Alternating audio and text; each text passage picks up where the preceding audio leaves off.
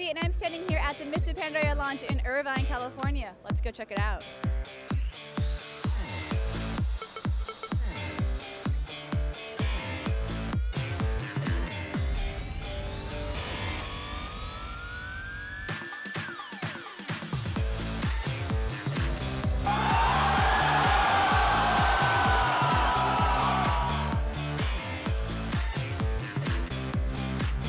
I'm the leading character designer in World of Warcraft. Um, I run the team that makes primarily the instanced content, the raid and dungeon content for the game. What was it like being in the game? I play a Tauren Shaman. Uh, Troll Shaman, Resto. I'm a Boomkin Druid. I am a Blood Elf Mage in Tier 6. I'm a Goblin Engineer. And I'm Jaina. Anything in particular that you're really excited for? Go down Yeah, line. pet battles. I finally have a time sink for when my raid's trying to struggle to get their flasks together, and I'm really excited about that. Are you excited about the game? Nah, oh my gosh. Heck yeah!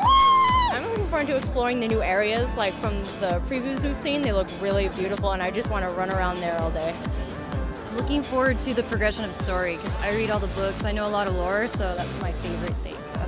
My light is so much better than yours. No, it's it's weak. Look at the color. I'm here with Jake. Jake, can you tell us what you play? Yeah, I uh, well, Alliance. Unfortunately, I'm sorry.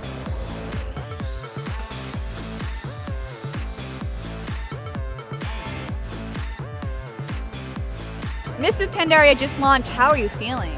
Very excited. It's pretty awesome to get the next World of Warcraft expansion in the hands of the players.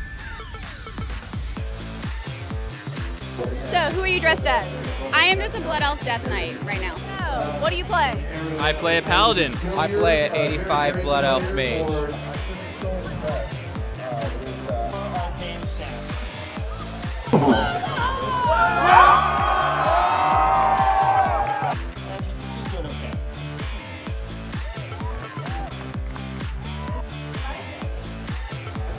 Right now I'm playing a shaman. And right now for me, an 85 mage, undead.